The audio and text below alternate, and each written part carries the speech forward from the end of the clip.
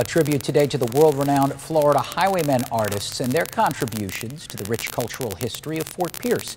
Fourth annual Highwaymen Heritage Trail Art Show and Festival taking place at Moores Creek Linear Park. That's in the Lincoln Park neighborhood, which is the birthplace of the Highwaymen artists.